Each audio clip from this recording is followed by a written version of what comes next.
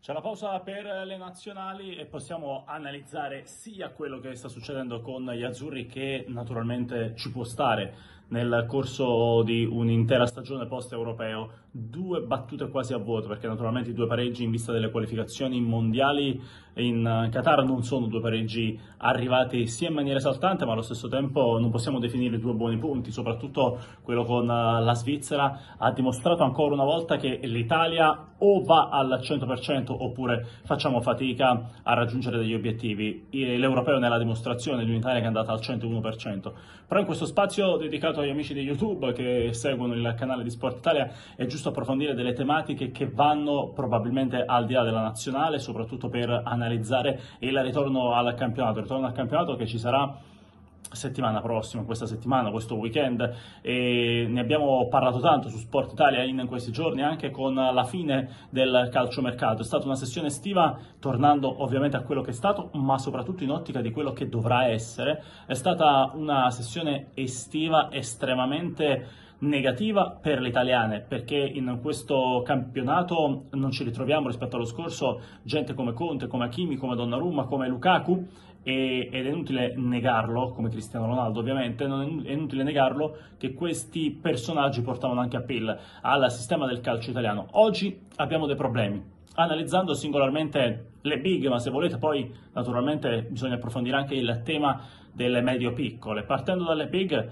l'Inter è stata la società che ha lavorato con maggiore intelligenza, ma non è una casualità. Perché non è una casualità? Perché quando hai un direttore come Beppe Marotta la dimostrazione che lui può uscire da una situazione estremamente negativa quasi con qualcosa di positivo. Certo, se sostituisci Geco o Correa arrivano e prendono il posto di Lukaku o Inzaghi prende il posto di Antonio Conte, sicuramente non può essere un qualcosa di positivo, ma andava fatto, andava fatto perché l'alternativa era soltanto una, o la società va in grandissima difficoltà, vedete cosa è successo l'anno scorso, non pagavano neanche gli stipendi e quindi bisognava fare cassa, bisognava battere monte ingaggi, bisognava comunque incassare dei soldi, altrimenti la società davvero rischiava di non arrivare non a fine mese ma alla fine della stagione.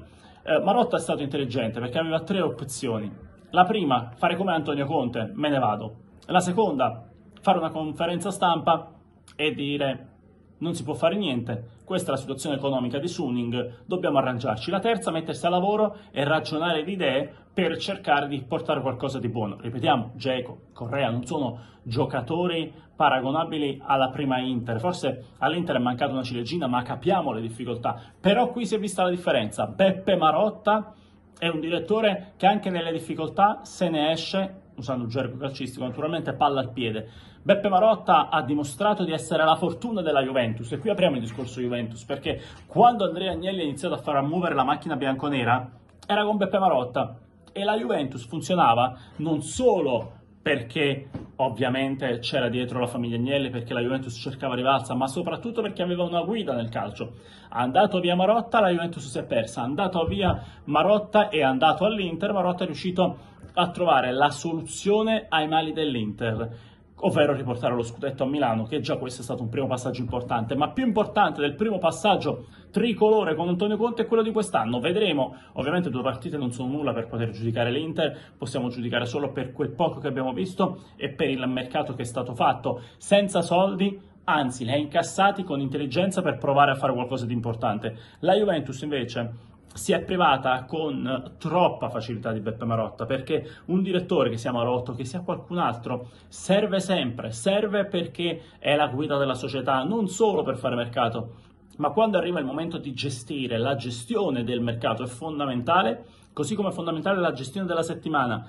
Pensate un po', oggi Agnelli alla Juventus è passato da Marotta a Paratici, da Paratici a Cherubini con tutto il rispetto, attenzione, parliamo di Cherubini che è un grandissimo scouting, parliamo di Cherubini che è un grandissimo conoscitore di calcio, ma era il vice di Paratici e Paratici era il vice di Marotta. Ci siamo ritrovati alla Juventus con Agnelli, con Nedved che però purtroppo dispiace dirlo non ha dimostrato di avere quella forza che aveva in campo dietro la scrivania, anche perché le dichiarazioni Pirlo resta, Ronaldo resta, non si muove, poi alla fine eh, lasciano il tempo che trovano, perché infatti la dimostrazione di quanto possano valere le parole di Pavel Nedved purtroppo è una dimostrazione lampante che è un dato di fatto. Non, non, sono serviti a nulla e soprattutto non rassicuravano. Torniamo a Cherubini. Cherubini è un uomo di campo e uno scouting, si ritrova a fare il direttore generale barra direttore sportivo calcistico. Paratici ha fallito senza Marotta, Marotta non ha fallito senza Paratici. La Juventus senza Ronaldo non può pensare di sostituire Ronaldo con Ken, che è un tuo 2000 lo avevi in primavera, lo hai mandato via, lo hai ripagato e adesso pensi che possa essere il sostituto di Ronaldo? Forse lo penso solo io, ma questo ci dice il mercato. È andato via Ronaldo, è arrivato Ken, non è arrivato più nessuno. Doveva arrivare uno come Mauro Icardi, non è arrivato. È rimasto Morata, ma è un'alternativa. Dybala è il perno di questa Juventus e ancora non gli hanno rinnovato il contratto. Hai preso Locatelli in mezzo al campo, ha impiegato due mesi, prima, durante e post europeo.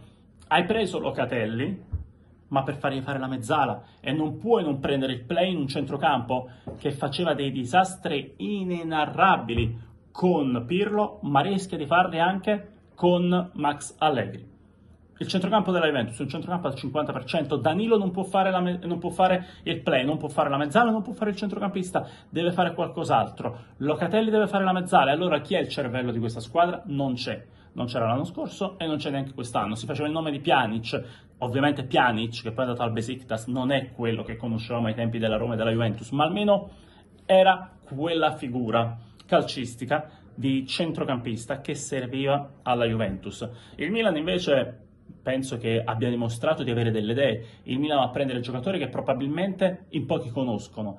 Certo, l'ultimo giorno di mercato ti sei ridotto volendo prendere un uh, trequartista nel 4-2-3-1 di Stefano Pioli e invece Cosa succede? Prendi Messias. Attenzione, siamo dei fan di Messias perché, perché, la sua storia è bellissima, perché giocava in eccellenza, poi giocava in Serie D, ha giocato a Gozzano, Chieri, Casale, era vicino Torino, la Juventus non se ne è accorta, il Torino non se ne è accorto, non se ne è accorto nessuno, se ne è accorto il Crotone a qualche chilometro di distanza.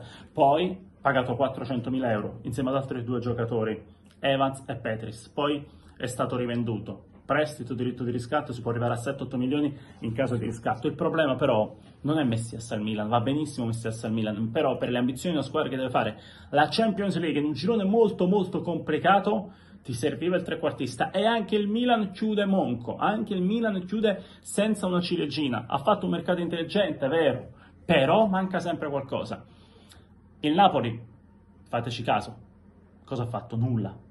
Il Napoli non ha fatto nulla ha preferito guardare e non fare. Ma il non fare non sempre è un vantaggio. Spalletti sicuramente è un allenatore che almeno al primo anno e anche al secondo ti valorizza tutto al doppio o al triplo, ma insegna un problema.